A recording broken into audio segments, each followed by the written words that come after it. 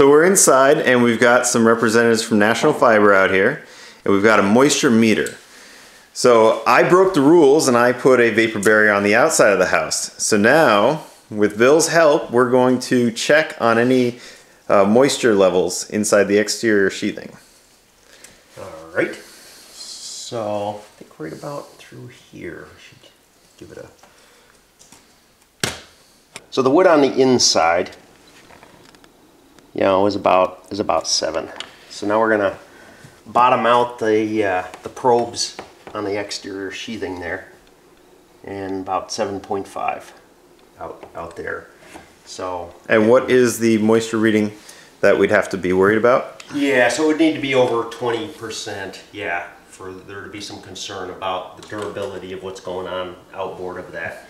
um, it's less than I would have even thought between there. I thought there'd be a couple percentage points different. There really, you know, is is very little between the inside and the outside.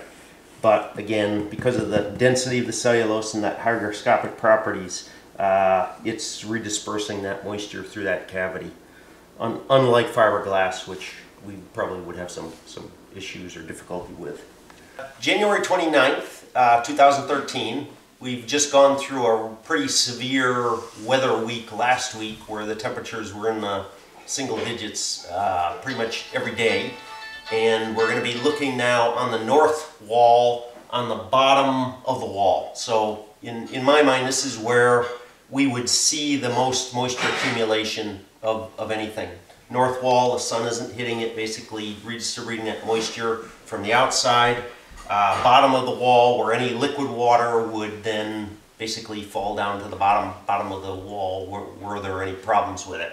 So we have uh, our moisture probes now in the full 11 and 3 quarter inches uh, inside the wall there and we're just going to take another moisture measurement now of, of that.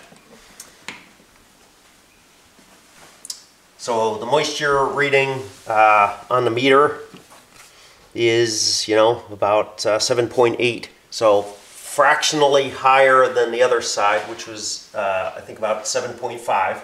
Uh, but still well within the range of safety and not indicating that we're having any kind of kind of issues here. Uh, once again, showing that moisture redistribution that's occurring within that cellulose insulation. Yeah, so we've completed the uh, moisture uh, readings here into the walls and found that on the west side of the, the building, uh, the moisture readings were a little bit slightly higher, uh, 9.2 to 10.1. Uh, still very well within the safety range. Uh, and on the east side, they were a little bit, little bit less, a little, probably a little bit more sun over in that area.